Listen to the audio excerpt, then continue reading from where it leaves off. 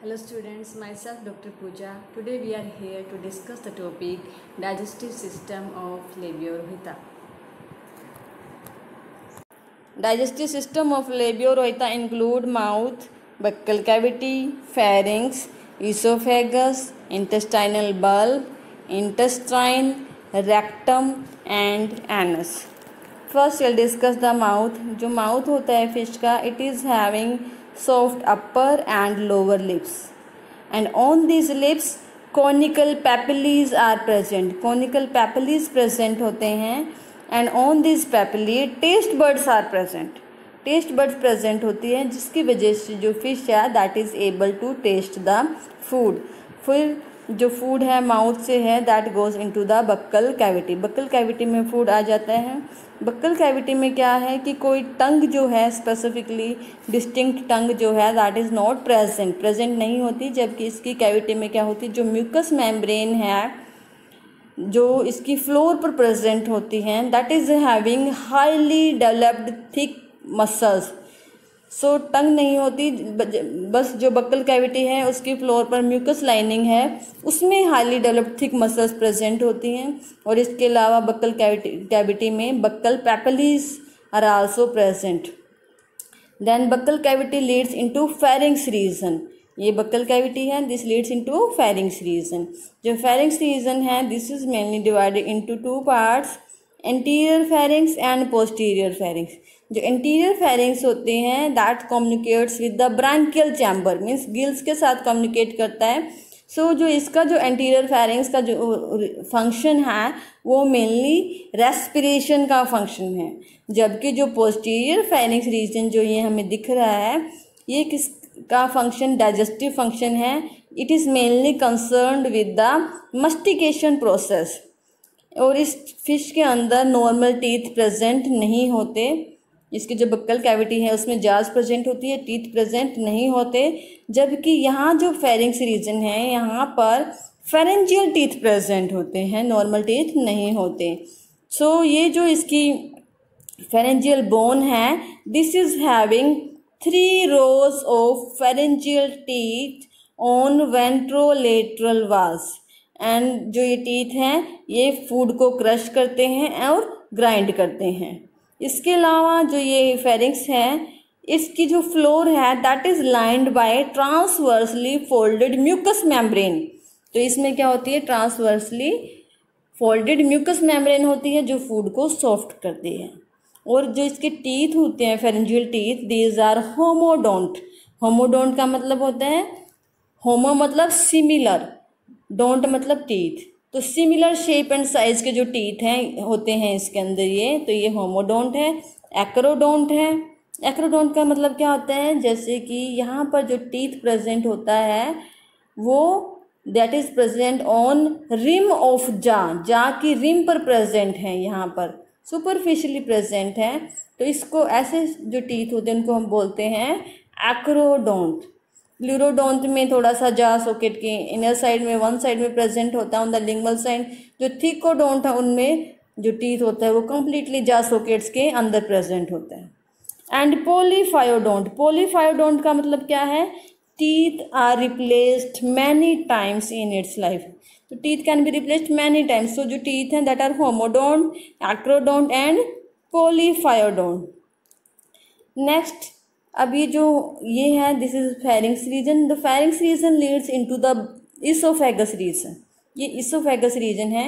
Oesophagus region very short tube है and this is having seven large longitudinal folds of mucous membrane तो mucus produce करता है ये and further it leads into the which region this region यहाँ पर ये जो region है दिस इज़ नॉट स्टमक ये तो फ़िश इस फ़िश के अंदर ट्रू स्टमक absent होता है।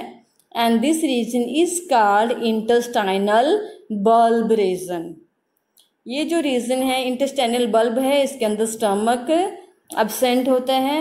ये जो इसका इंटीरियर पार्ट है it becomes into a swollen sac ये स्वोलन सैक बन जाता है और ये जो फ़ूड को स्टोर करता है लॉन्ग होता है ये, और हाईली थिक वाल्ड रीजन है ये। ठीक है?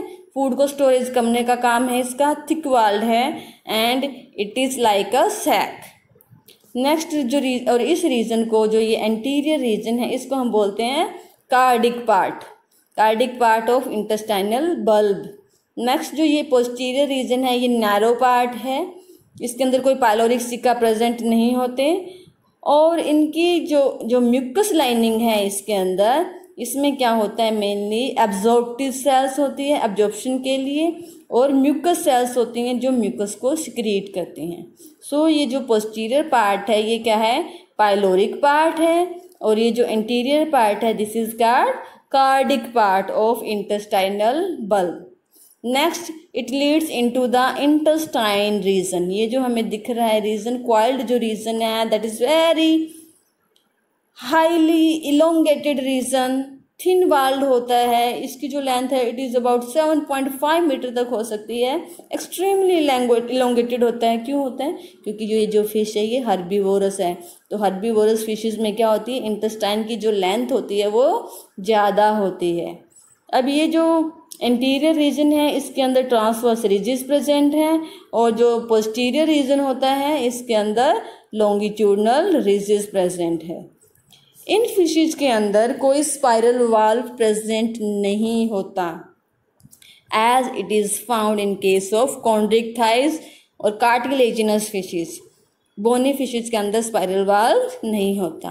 Next then intestinal leads into rectum part rectum part है, वो वाइडर है इंटेस्टाइन से थिन वाल्ड है and it open exteriorly by which opening by the anus anus के थ्रू ये बाहर ओपन होता है rectum and now digestive glands digestive glands are liver gall bladder and pancreas liver is massive gland it is reddish brownish in colour ठीक है dark brown colour का होता है, इसके राइट लोब है, ये इसका लेफ़्ट लोब है and this two lobes are connected at three regions तीन जगह से ये कनेक्टेड होता है. Next is gall bladder this is elongated sac region this is gallbladder and it is located in between the right and left lobe of liver, ठीक है? और इसमें से एक सिस्टिक डक्ट अराइज होती है गाल ब्लडर से और ये जो सिस्टिक डक्ट है आदिस receive three hepatic duct one ये two and this is three third third hepatic duct है, इनको ज्वाइन करती है ये और कॉमन बाइल डक्ट बनाती है. This is common bile duct and it open into the anterior cardiac part of intestinal bulb region, वहाँ पर ये ओपन होती है। नेक्स्ट इज़ पेंक्रियाज जो पेंक्रियाज हैं एज ए डिफरेंट स्ट्रक्चर के फॉर्म में प्रेजेंट नहीं है it is found as diffuse structure diffuse form में प्रेजेंट है along the coils of intestine and also it is found scattered on the liver liver पर scattered मिलता है और जो इंटेस्टाइन के क्वाइल्स हैं, उनके बीच में ये प्रेजेंट होता है पेंक्रियाज पेंक्रियाज जो हैं इस पेंक्रियाज में से फाइन डक्ट्यूल्स अराइज होती हैं और ये बहुत सारी फाइन जो डक्ट्यूल्स हैं छोटी छोटी डक्ट्यूल्स मिलकर क्या बनाती हैं? पेंक्रियाटिक डक्ट बनाती हैं। और एक जो ये पेंक्रियाटिक डक्ट होती हैं that open into the interior cardiac part of intestinal bulb so जो पेंक्रियाटिक डक्ट बनती है, वो इंटेस्टाइन बल्ब के एंटीरियर कार्डिक पार्ट में ओपन होती है। This is pancreatic duct okay now is mechanism of digestion इसका जो डाइजेशन का मैकेनिज्म है, बहुत ज़्यादा क्लियर नहीं है। इसके अंदर हमें पता है कि जो स्टमक होता है, वो अबसेंट होता है। उसकी वजह से इसके अंदर पेप्सिन और हाइड्रोक्लोरिक एसिड भी अबसेंट होते हैं। बट जो स्टमक की कमी है, हमें पता है पेप्सिन जो है, वो प्रोटीन्स का डाइजेशन करता है। तो उसकी जो कमी है, वो कौन प्रोड्यूस करते हैं कौन पूरा करते हैं? ट्रिप्सिन और erepsin enzymes and enterokinase enzyme trypsin और रिप्सिन एंजाइम है that has produced from the pancreas region pancreas produce करते हैं, और जो ये जो इंटेरोकाइनेज हैं that is produce from the intestinal mucosa region enterokinase क्या करता है? ट्रिप्सिन और इरिप्सिन को एक्टिवेट करता है. और ट्रिप्सिन और इरिप्सिन क्या करते हैं? ये प्रोटीन्स के डाइजेशन में हेल्प करते हैं. ठीक है? इसके अलावा अमाइलेज एंजाइम भी प्रेजेंट होते हैं इनके अंदर। Amylase enzyme is also produced by the pancreatic cells इसको प्रोड्यूस करते हैं जो कि स्टार्च का डाइजेशन करता है। लाइपेज और माल्टेज एंजाइम भी इसमें पाए गए हैं इसके इंटेस्टाइनल एक्सट्रैक्ट में। लेकिन एग्जैक्टली exactly ये जो दोनों एंजाइम हैं ये कहाँ से सिक्रीट हो रहे हैं इसका अभी तक नहीं पता है। सो so, जो ये फ़िश हैं दिस इज़ हर्बीवोरस तो यहाँ पर जो concentration of carbohydrate splitting enzyme है, that is highest as comparison to the protein splitting enzymes. तो कार्बोहाइड्रेट को डाइजेस्ट करने वाले जो एंजाइम हैं, उनकी जो कंसंट्रेशन है, वो ज़्यादा है, क्योंकि ये हर्बीवोरस है प्रोटीन स्प्लिटिंग एंजाइम्स की कंसंट्रेशन कम है स्टमक अब्सेंट होता है, ठीक है? मेन एंजाइम क्या है? ट्रिप्सिन इरिप्सिन इंटेरोकाइनेस और माइलेज लाइपेरोज माल्टेज भी प्रेजेंट है बट कहाँ से प्रोड्यूस होते हैं, ये नहीं पता है एग्जैक्टली थैंक यू